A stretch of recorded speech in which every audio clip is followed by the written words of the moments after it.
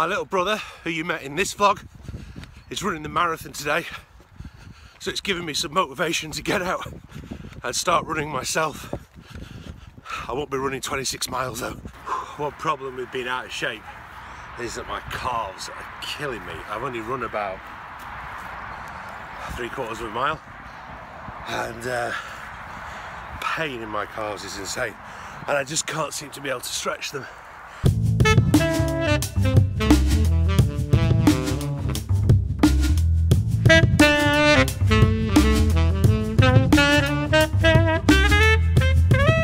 I wanted to talk today about the new gimbal I've got for shooting on the iPhone. So let's go back to yesterday's unboxing. Better get into this. So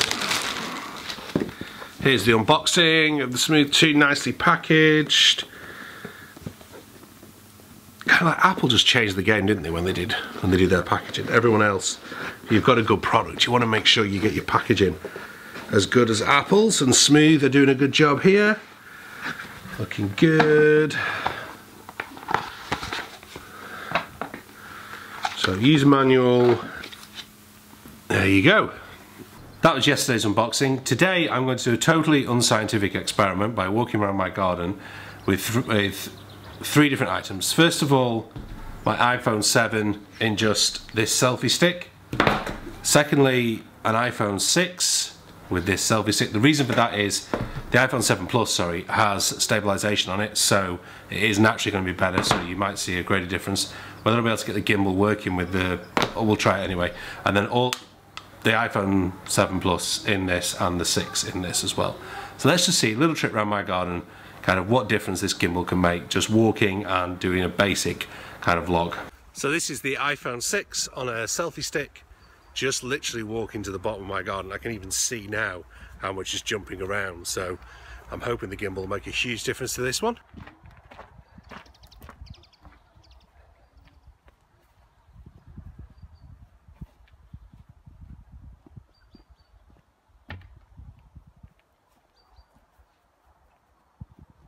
This is the iPhone 7 Plus which has built-in stabilisation and I'm on the selfie stick, not on the gimbal.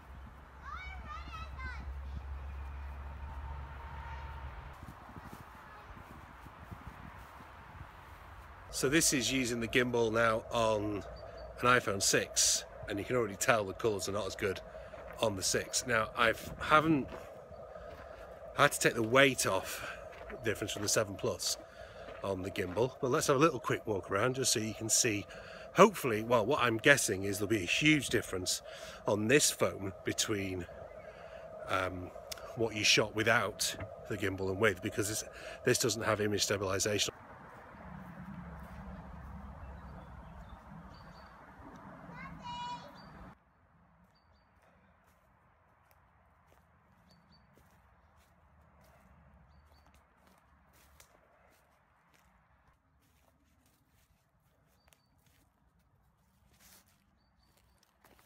So this is the iPhone 7 Plus on the gimbal.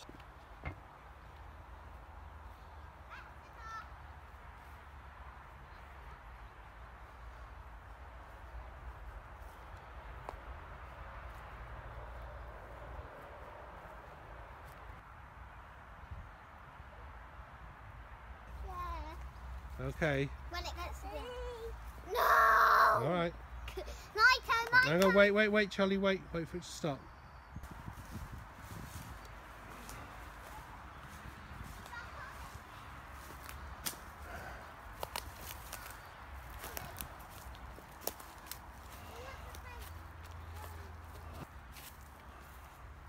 And finally, for reference, my trusty Canon DSLR just to kind of show you what goes on with my normal top of the range camera which of course doesn't have image stabilization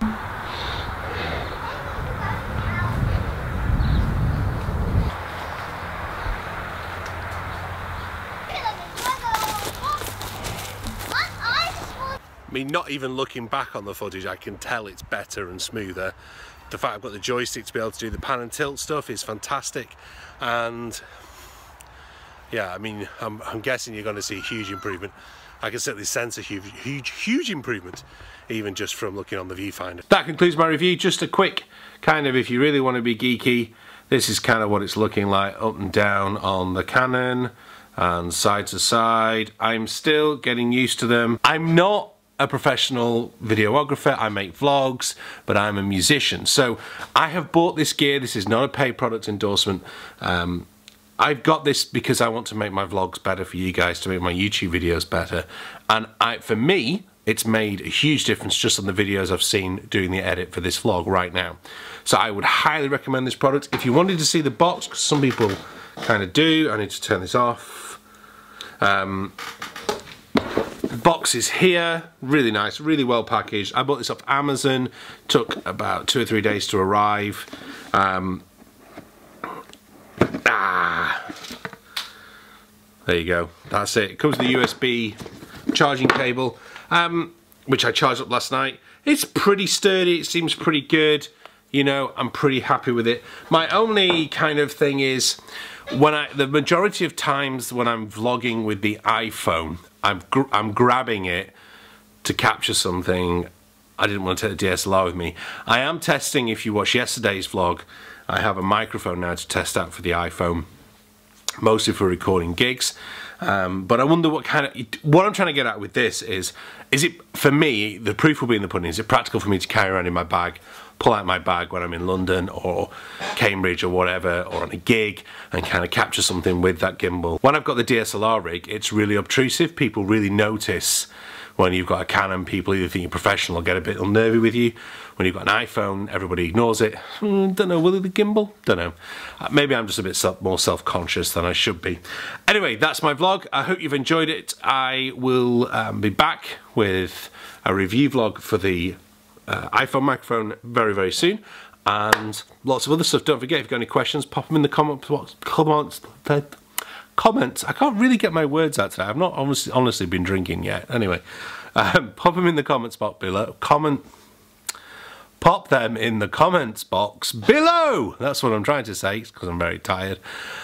And please, if you don't already, hit that subscribe button. It makes a huge difference to the videos that I am able to offer you. My target is to hit 5,000 subscribers by the summer. So please help me along with that. Thank you very much for watching and I'll see you very, very soon.